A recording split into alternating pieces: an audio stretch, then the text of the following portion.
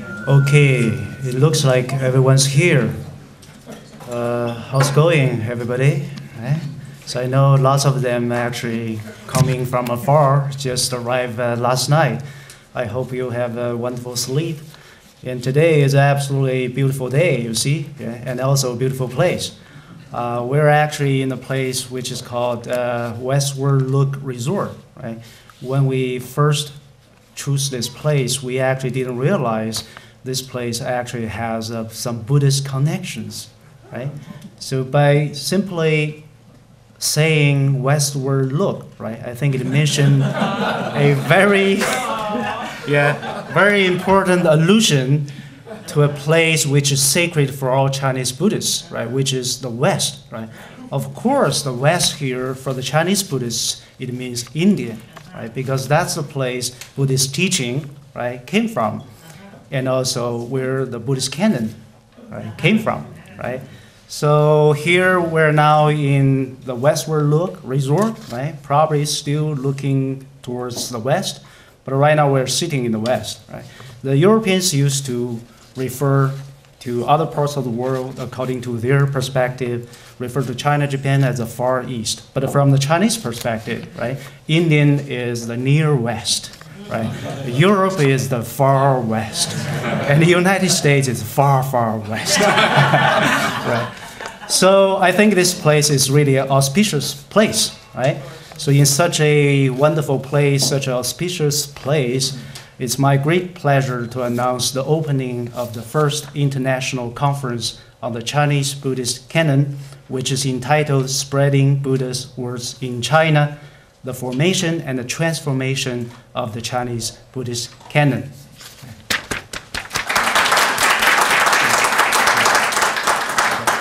So this conference has been sponsored by American Council of Learning Societies and financially supported by the Jiang Jingguo Foundation based in Taiwan. We also receive support from College of Humanities and also uh, the School of International Language, literature, and cultures, and of course the Department of East Asian Studies.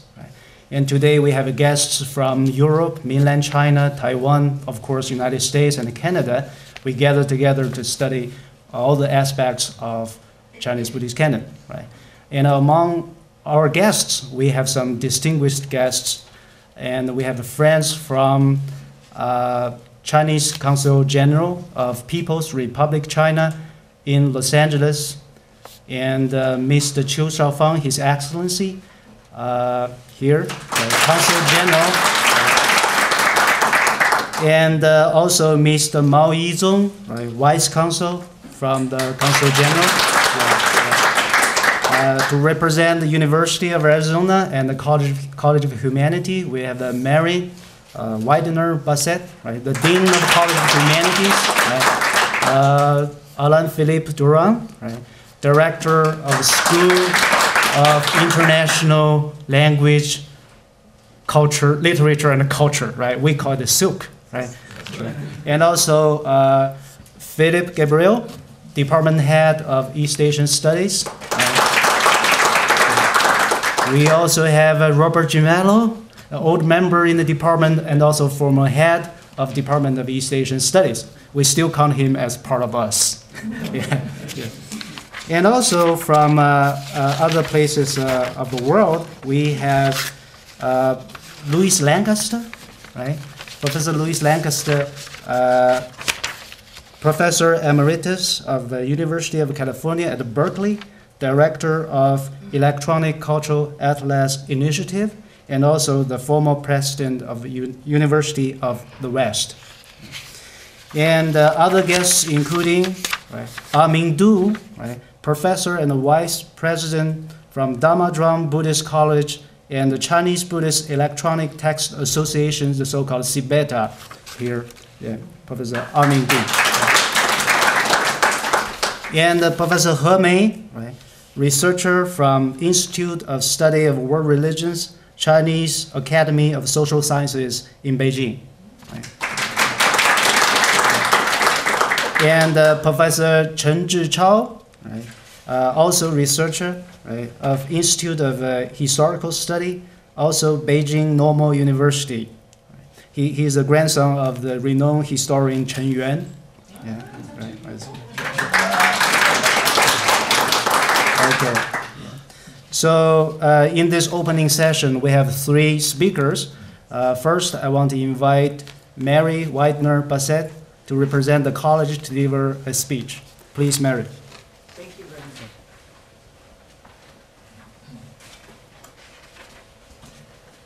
Well, thank you very much and welcome everyone. Uh, Mr. Qiu, colleagues from far and near, and of course all of our honored guests.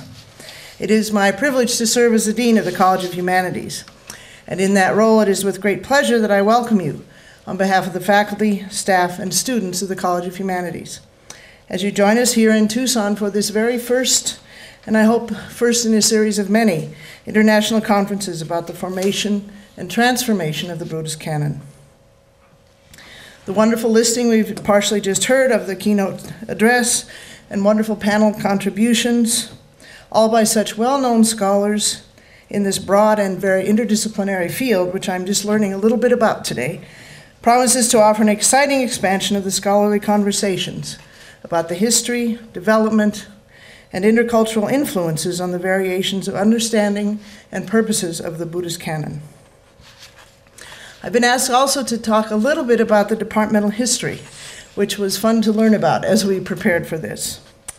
The Department of East Asian Studies was previously known as the Department of Oriental Studies, was founded in 1968 here at the University of Arizona. The department was started as a program headed by Charles Hucker in 1955 as a program before it became a department. And uh, he was asked then to chair an Oriental Studies committee, from which became then the department and eventually the East Asian Studies, the renamed department.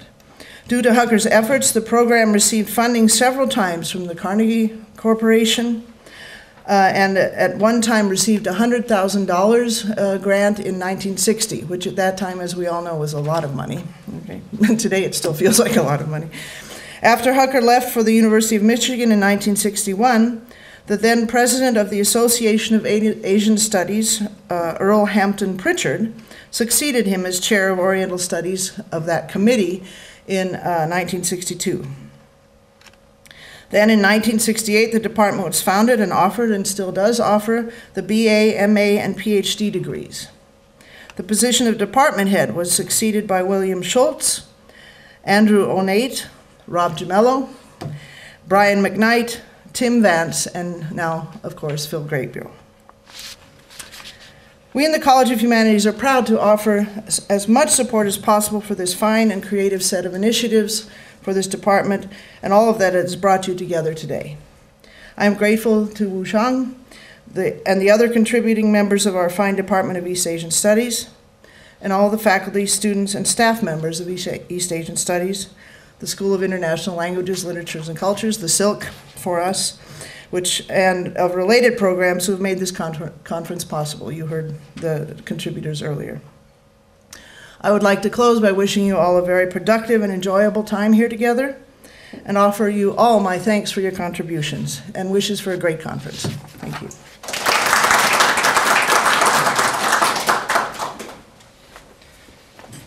Thank you, Mary.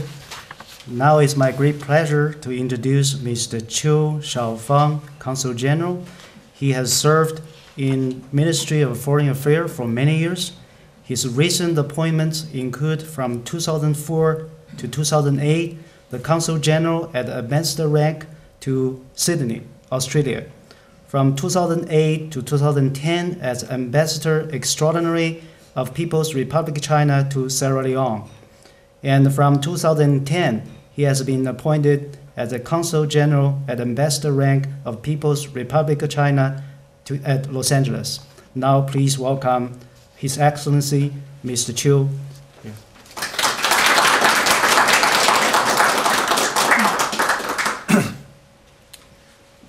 Thank you, thank you, Dr. Wu, and also professors, distinguished guests, and ladies and gentlemen. It's my great honor to speak here. You know, because I never such attend such this uh, conference before, This is my first time to attend the conference, but also it's a pity because I don't have enough time to join you and for the full conference and today and tomorrow because I will went back to Los Angeles to have a lot of functions, you know, because then uh, in Los Angeles I'm very busy. And this time I come to fin- uh, and also and Tucson. I met some officials from the state and also discussed our and enhancing enhance the relationship between China and United States, and also in strengthening the relation between uh, Arizona and the state of Arizona and to the to the the states in China. So today I'm very great honor to in, to be invited to attend your uh, conference. So it is well known that China enjoys a history of more than 5,000 years.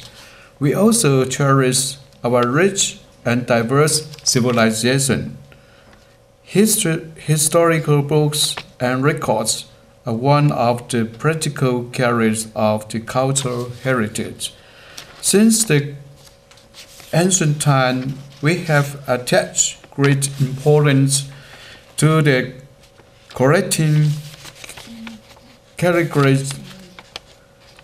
categorizing and citizen systemizing of the of these records. The, the Chinese Buddhist can, canon is the extremely important because of its rich completion and global influence. Since the founding of the People's Republic of China, more than six decades ago, the Chinese government has made great efforts to, pre- to preserve the Chinese Buddhist canon. We established a special committee. We host a number of international seminars, and also we have invited scholars from the Chinese Academy of the School Science Peking University and Research Institute of Buddhism Culture of China to continue their research. University of Arizona is famous for their research on the Oriental studies, including the Buddhist canon and Tibetan study. You have hosted a series seminar and published many research papers. I commend your continued efforts to spread the Buddha's words and to promote the Chinese culture. Ladies and gentlemen, in January 2011, President Hu Jintao paid a successful state visit to the United States. In the joint, in the joint statements signed on January 19, the two sides agreed to promote people to people contacts and expand cultural interaction and in the condition of in the in this condition I hope that we will work together to promote better understanding and and friendship between the people of our two countries.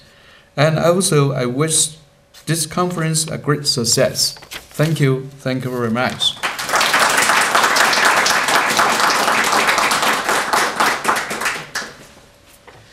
Thank you, Your Excellency, Mr. Qiu. And now we have uh, Alain Philippe Durand representing School of International, uh, simply Silk, right? Represent Silk to give us a talk, please.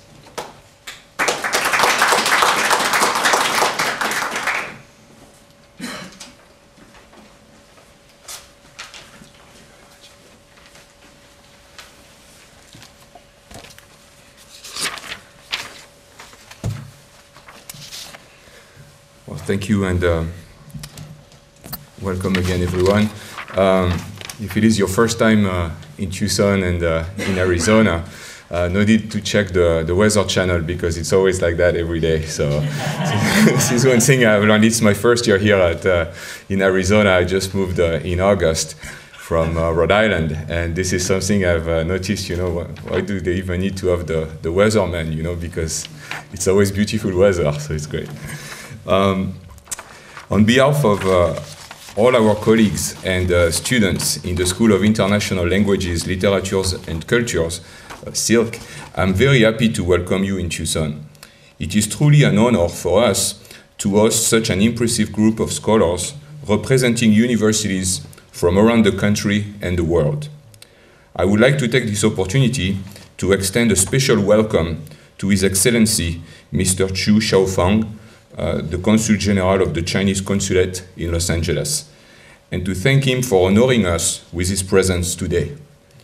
I would also like to thank the ACLS, the Chiang Kuo Foundation, Dean Marie Wildner Bassett of the College of the Humanities, and uh, Dr. Phil Gabriel, head of the Department of East Asian Studies, for their support. Finally, I want to express our gratitude to my colleague, Dr. Jiang Wu, the organizing committee, and to Ms. Ruby Shelton and Ms. Kelly Moyes in our staff for their tireless work uh, in making this international conference possible in every aspect research, grant writing, and logistics. My best wishes to all of you for a wonderful conference and stay in our beautiful region. Thank you very much.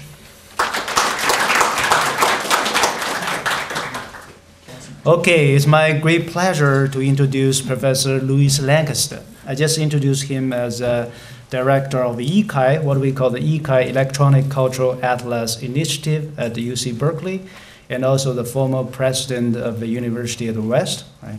And Lou is actually the pioneer in this field, studying Buddhist canon. Right? Back in the 70s, he was in Fangshan, right?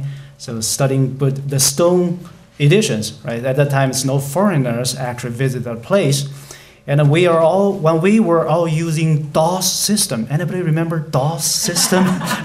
Probably for younger generation, they, they never heard about that. But that's the time actually Lou already started typing input all the Buddhist texts into the DOS system in Shanghai, right? And then the Korean and Taiwan people took that project and you see the result, right? So it's all derived from Lou's ideas and uh, very uh, pioneering practice in the, this field. Right? And uh, we, we have lots of to say about his digital projects, but we're not going to do that. Right? So today we're going to focus on uh, Chinese Buddhist canon, and uh, Lou is going to deliver a, a keynote speech uh, actually unofficially the reason why we organize this conference, right? We, we want to study Buddhist canon and also we want to commemorate Lou's contribution to this field, right?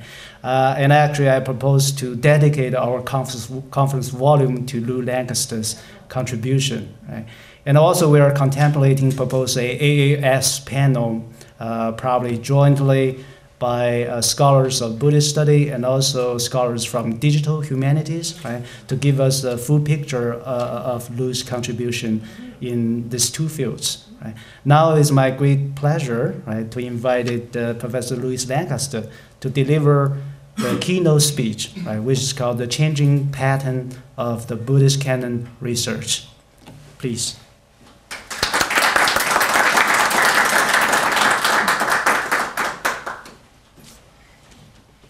Well, thanks for those very kind words. Not sure they're fully deserved by any means. Well, this morning I woke up and I was startled. There was this strange light. It was eerie. And I thought, what's going on? And then I realized it's sunlight. Because in the Bay Area, we have not seen the sun for three weeks. I had forgotten what sunlight is like. So I'm absolutely delighted to be here in this wonderful weather where you really have sunlight. Thank you. What a, just a first word of appreciation to Jiang Wu for putting together this conference. It's a, a masterful stroke on his part and to the university here for putting all this effort to bring us together. Really appreciate it, and we thank you so much. Well, it's, it's really pleasing for me to be at a conference like this and to hear so many papers that deal with the canons of Buddhism. Because I lived through this period in the 20th century when canonic study was rejected by many as being a focus on elitist literature and not related to social and cultural issues. I have this memory of going to a conference in Los Angeles in the early 90s when one of the scholars said to me, We don't use the word canon anymore. You need to revise your vocabulary. Um, I didn't mind. I didn't revise my vocabulary. Uh, as we know, the tides of change affect our scholarship uh, as much as they affect the oceans. Well, in this meeting, I think we, we see a new era has arrived. and in every paper, we have proof that the canons were integral parts of social, political, and religious life. So I'm really happy to have this chance to be with you. Works. Given what is reported in this conference and in much of the research on Chinese political life, I think today it would be indefensible to try to write histories without reference, particularly in China, to the way in which the production, the housing, and the veneration of the canons intertwined with legitimacy of rule and expression of meritorious activity. Canons played an important role in the life of people, and that was something which I really uh, fought for when people said, don't study canons.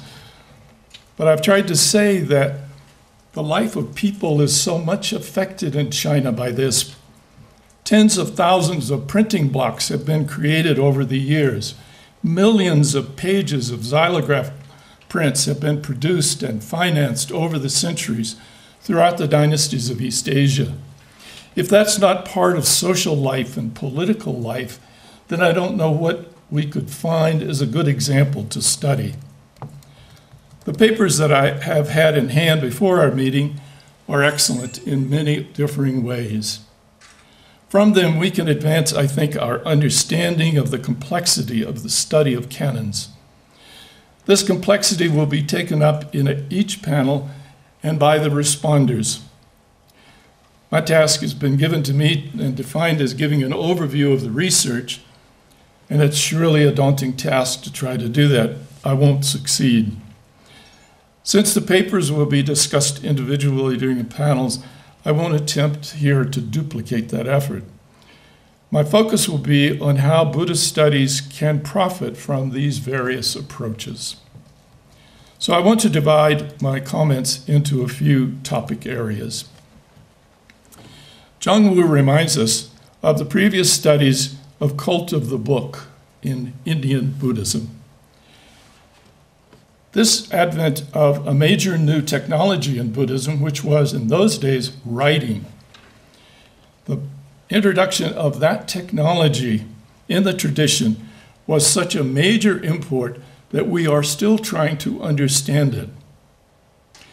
And I suggest that we should not limit our comments on writing just to the religious aspects. The big question for me with regard to this is when did the Buddhists learn to read and write? Who were the audience for written texts? What was the process by which recitation was joined with manuscript copies? From the research going on in India today,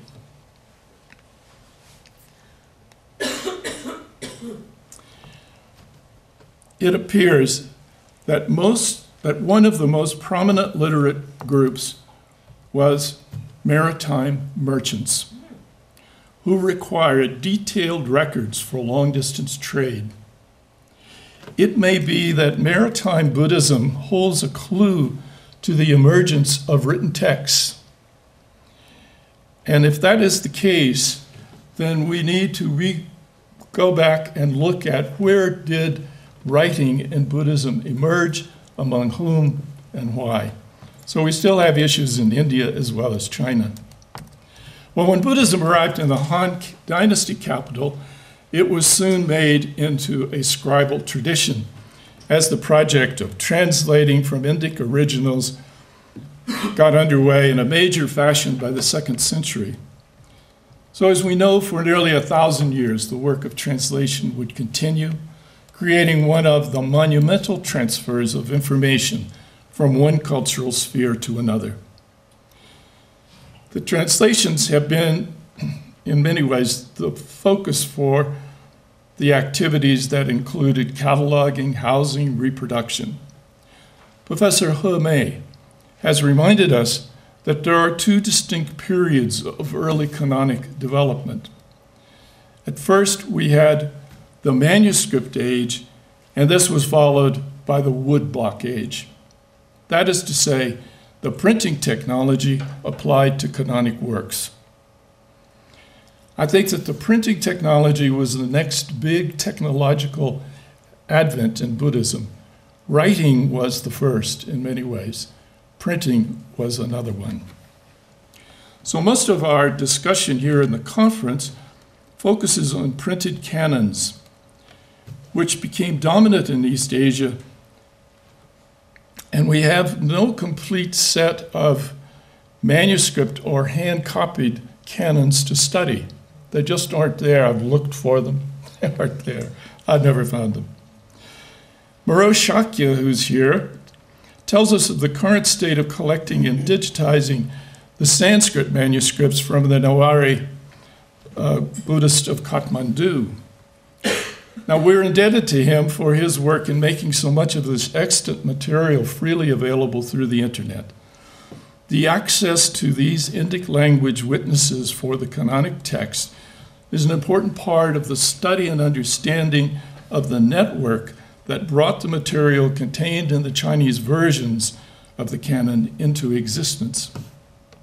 At the same time, it's important to remember that much of the translated material in East Asia came from Sanskrit or Indic texts that are no longer existing.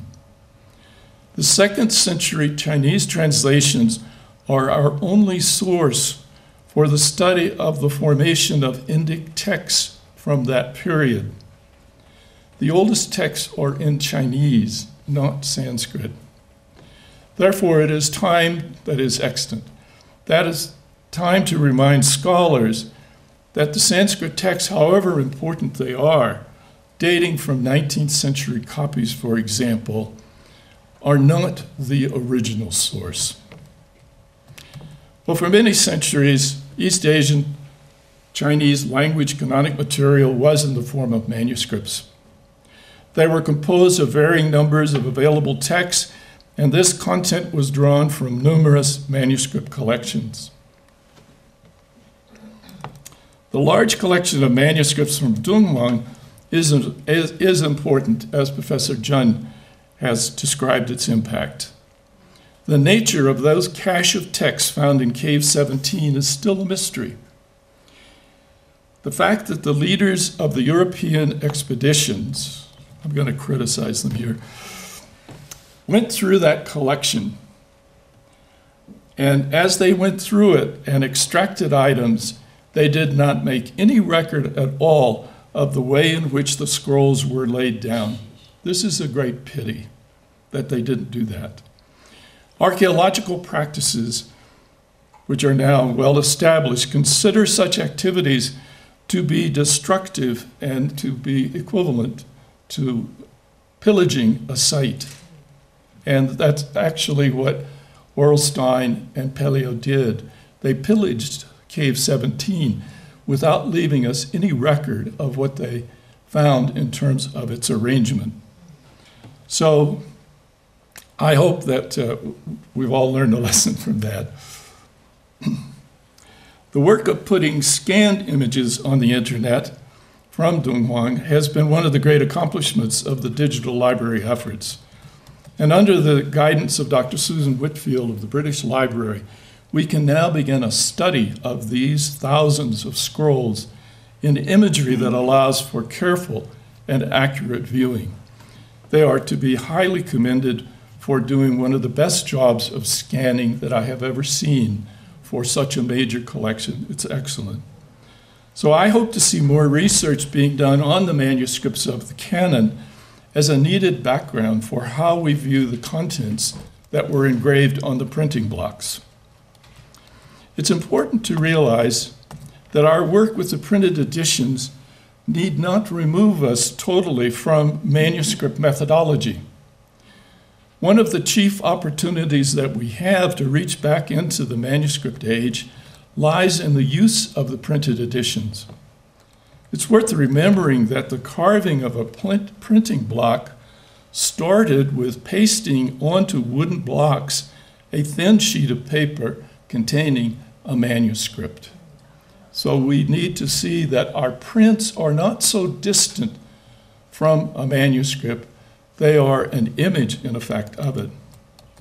Now, another example of manuscripts, as I call them, can be found in the stone slabs at Fangshan. Since I think the incision on the stones was simply another hand copy method, that is, it was a manuscript. And it's similar to the use of a brush on paper, so that we should consider the rock cut canons uh, basically as manuscripts. Well, even after the advent of printing, editions continued, uh, advent of printing, editions continued to vary. Some people feel that printing freezes the canon, but we see that that has not been the case in China. No edition is an exact copy of another. Texts were rearranged, different texts were chosen to appear in the collections, and what I call redactions from East Asia found their way into the open canon structure. As Professor He has pointed out, the, there are many mixed editions that continue to be printed in contemporary projects in Taiwan, Hong Kong, and now the People's Republic of China. Editors are always on the lookout for new entries, and they all like to make a slightly different arrangement. well, these printed editions were numerous, and we have more than 20 of these. Um, just to show you the complexity of what we work with. The printing blocks uh, came to us in this form and they proliferated and proliferated. And the study of the Chinese Buddhist canon is somehow to study all of this as a unit and to understand all of this in terms of the history and the way in which the canon has been put together and developed. This is the Chinese Buddhist canon in all of its complexity, and that's not even all of it, really. so we can characterize the printed canons as eclectic. They were composed of varying numbers of available text, and the content for each of them was drawn from numerous manuscript collections. The tracing of the text and the imagery associated with one deity, for example, in the paper by Professor Gimello, gives us a partial picture of how convoluted the network of sources and redactions become in the structuring of canonic materials. The role of the Kaibao edition, made from manuscripts housed in Sichuan, is central to the story of the woodblock age. We look forward to the comments uh, of Professor Jun and the report on the, of the latest research dealing with this version. Well, the ancient blocks of the Kaibao, of course, have disappeared. And the few rubbings that are found scattered around East Asia hardly give us an accurate picture of the version. In the early 1990s, when I was working with Professor Fujieda from, he was then at Ryukoku University, we were able to compare a known rubbing from Kaibao with ones from the Goryeo blocks and the Jin Canon edition.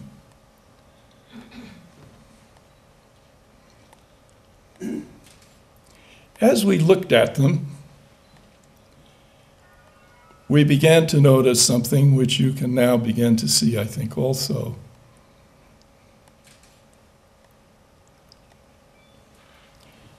The Goryeo and the Jin traced the Kaibao.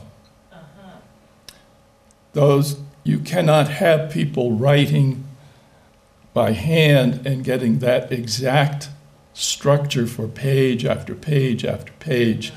Human hands don't do that. So they had traced them. Because they traced them, in a sense, the Kaibao is not lost to us. We still have it when we have a text in both the Koryo and the Jin. We can see what probably we recover, the readings from the Kaibao. So the question still remains, however, as what portion of the Goryeo edition could be considered a copy of the original Kaibao. I will tell you that I'm, I'm under great attack in Korea for what I'm about to tell you. And somebody yelled at me two months ago that I was wrong. so I warn you, I may be wrong. I try my best to understand that I don't think you can ever be totally right. I just try to be less wrong, so I'm not sure. Well, Professor Zawinka, uh, has explored the importance of this Goryeo edition in terms of the political atmosphere on the peninsula, and I really welcome his, his work with that.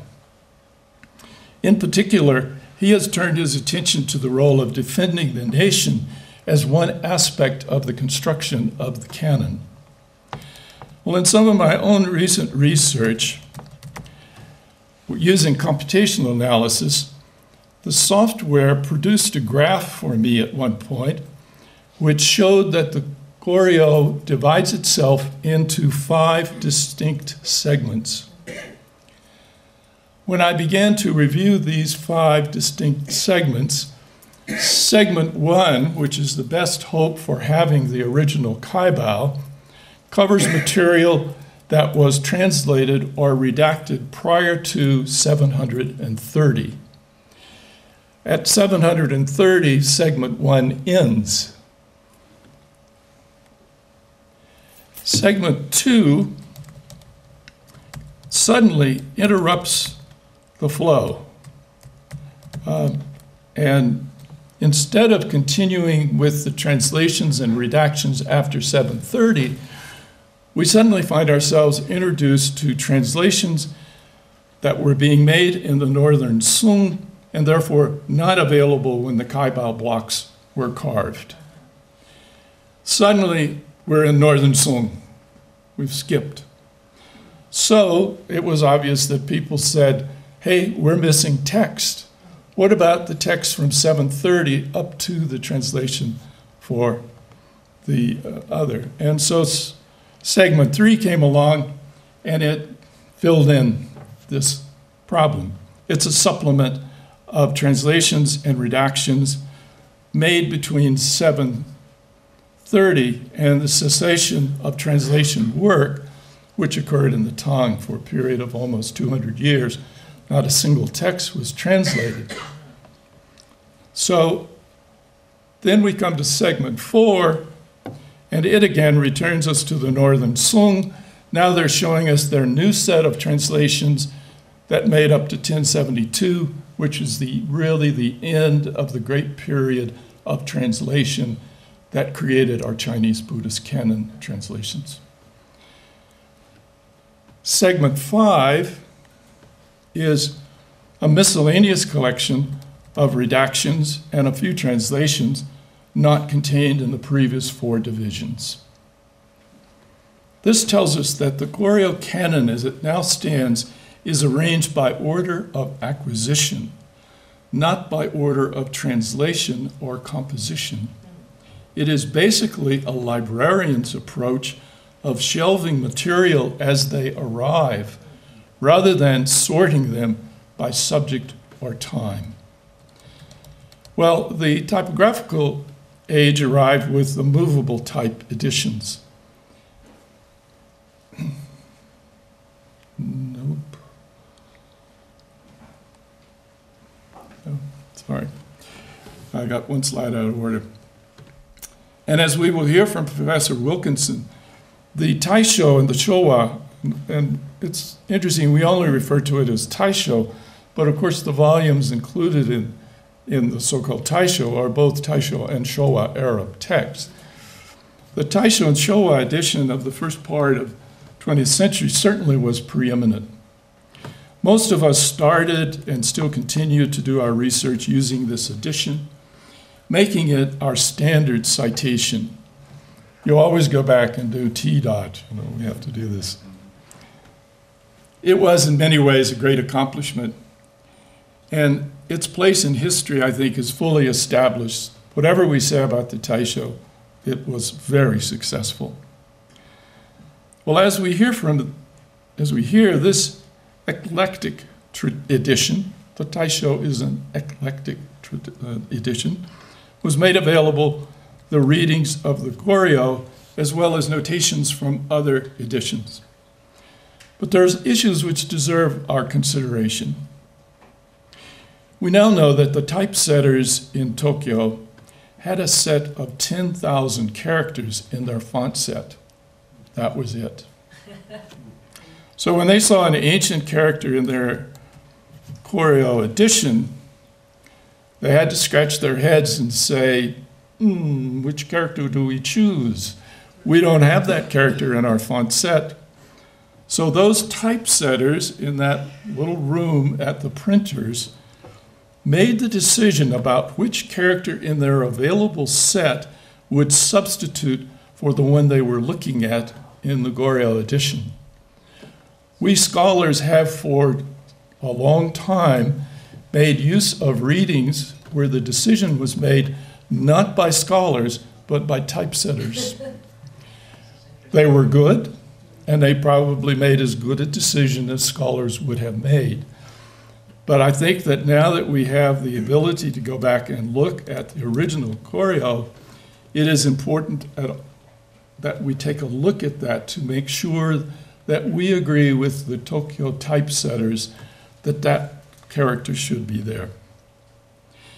Well, um, the other problem that we face with the Taisho is it has its famous footnotes. And we have all depended and used those footnotes throughout time. But there are a lot of problems with the footnotes. Uh, there was not one Sung edition there were multiple Sung editions. Which one do you mean when you put Sung? When you say Ming, which Ming do you mean? When you put the character for three and says it's Sung Ming Yuan, it tells me nothing in a way. I don't know where they got which ones of all those that they were actually using. Well, the notations of the Jin Canon facsimile edition, which was published in Beijing, is a real improvement over Taisho notes. And if you want to look at notes, you use that edition rather than the Taisho notes for sure. And that's because in that they make specific references to the actual text in the Sung and the actual text in the Ming and the Fangshan text that they were looking at. So those footnotes have taken us a great leap forward. Um, so we're very privileged here and fortunate to have a, a, detailed paper, for example, on the colophons of the Ming edition and by Professor Long. And he has looked carefully at the colophons of the Ming edition as a method of identifying the major players in the history of that set. And it is certainly uh, good to have that kind of study. We have nothing similar with all the people who have studied the Ming up to now. With the Qisha Zang, we have the careful study by Professor Chia. Uh, I think that paper is almost takes us as far as we probably can go in terms of what's available and known about that edition. It's a great contribution. The very interesting and little researched uh, Jiaxing Zhang has been explored by Professor Gimello in terms of using esoteric texts to show how this collection was influenced by changing patterns in late imperial China. But we also have to look at this as being in a sense, the people's canon. This was a project of almost 90 years to complete it, required them to go out and secure support from ordinary people. This was not a government project. And so we're very interested to know much more about that one. It deserves the study that it's getting. And I'm really pleased to see that that study begins at this conference. Well, the work of recording alternate readings is still incomplete because quoted passages from the canon occur in dynastic histories, local gazetteers, stele inscriptions, and the reactions. The canon is quoted throughout the literature, and these sources have hardly been touched. Who goes to look in the sequence you to see where various parts of the Chinese Buddhist canon have been quoted, and are those quotes the same readings that we see in the standard editions, or were they locals? So I think that the other also is the fact that we have thousands of fragments of manuscripts that have been found in the archaeological digs of Central Asia and parts of China. These fragments are hard to work with. I mean, they're just debris almost. And yet, uh, in many cases, these ancient fragments are the oldest examples that we have for the text. We need to use those fragments to the degree that we can. And now that we have the digital search available, even a very small fragment can often be identified and identified quickly. When we have these fragments identified, then we need to reconstruct the text as best we can from those fragments to see if from these very ancient materials we can have a new reading. Well, cataloging issues loom large in our study of the canon. Professor Storch and Professor He Mei address some of the unresolved questions, and I, I welcome all of that. We also have with us Professor Phil Stanley, who is the leader of the large project housed at Bangkok to create a union catalog of all Buddhist texts. Miroj Shakya is also a member of that cataloging pro- project, and he heads up the Sanskrit team. Professor Aming Du, who's here, and the team at CBETA are also constantly involved in matters pertaining to cataloging. It is exciting for me to have this array of researchers bringing forward the discussion of cataloging and how we do it and what we are, how we can make a strategy for ourselves. Well, in terms of cataloging, I've used the word redaction. If you think of a better word, I'm happy to accept it. I use the word redaction for the authored and anonymous text produced in East Asia. As we see in the segments of the Koryo block prints, there was a clear divide between redactions and translations. In the catalog of 22 versions of the canon by Professor Tung, we note that more than half of the 4,175 listings are in fact redactions. These are listed with this, these categories commentaries, compilations, annotations, and recorded sayings of masters. This is the way the colophons have identified these sorts of redactions. But in addition to these four types of redactions, scholars have long noted that among the translations there are anomalies. These question texts, now referred to as apocryphal, are in many ways simply a fifth division of the redaction, since they exhibit many of the same characteristics of word use as the compilations. Using computational analysis with the occurrence of words, we can now see more clearly that certain texts have the same um, profile. And I've been working with the uh, word that usually means original enlightenment. And I look for the profile of the use of this word. And you can see the use of it here over time. There's an anomaly. The early occurrence of hundreds of examples in a text that claims to be in the third century is an anomalous thing. We do not find anything comparable until the later compilations. That tells us that that text was probably has the characteristics of a compilation, not a translation. It is the Vajrasamadhi Sutra that is referred to here.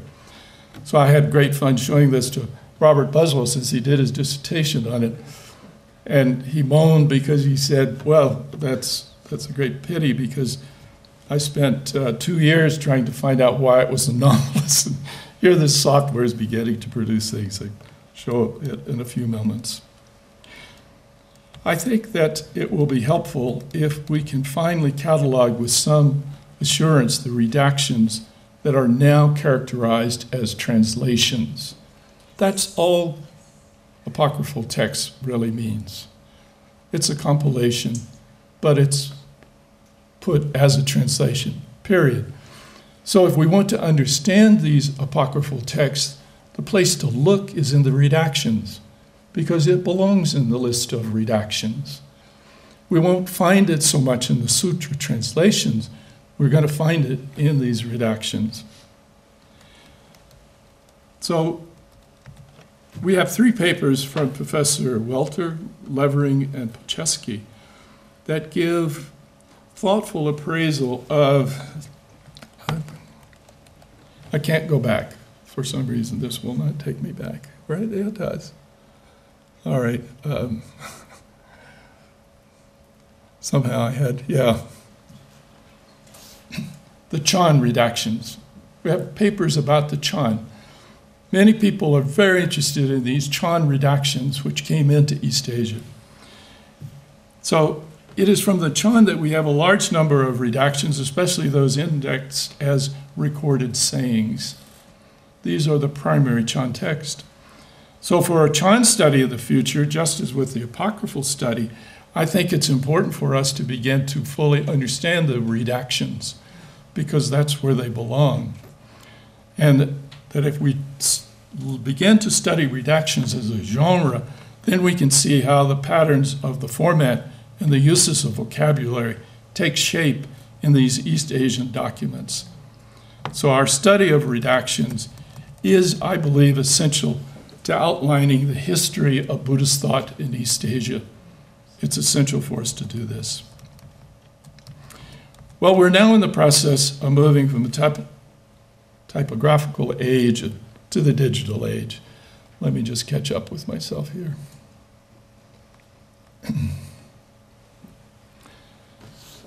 Professor Aming Du gives us an account of CBETA and the way in which the site has developed.